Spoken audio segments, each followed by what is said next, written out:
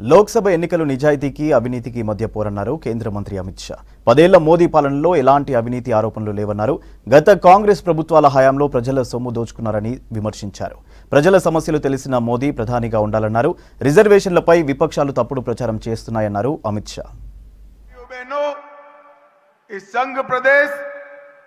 नरेंद्र मोदी जी के शासन में आने के बाद अनेक दृष्टि से समग्र देश का आकर्षण का केंद्र बना है।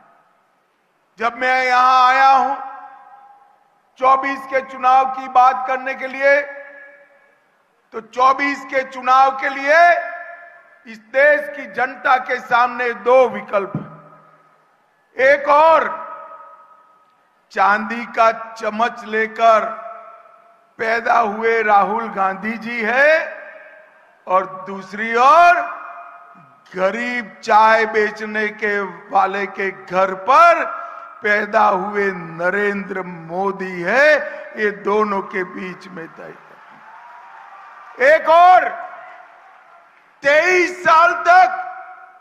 मुख्यमंत्री, प्रधानमंत्री रहते हुए दीपावली के दिन भी छुट्टी लिए बगैर सीमा पर सेना के जवानों के साथ दीपावली मनाने वाले नरेंद्र मोदी है और दूसरी ओर गर्मी थोड़ी बढ़ते ही थाईलैंड और बैंकॉक छुट्टी में जाने वाले राहुल बाबा है।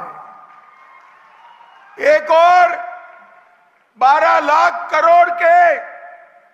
घपले घोटाले भ्रष्टाचार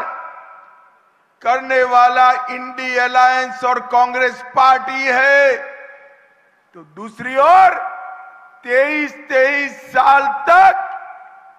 मुख्यमंत्री और प्रधानमंत्री रहने के बाद भी जिस पर 25 पैसे का भी करप्शन का आरोप नहीं है, ऐसे नरेंद्र मोदी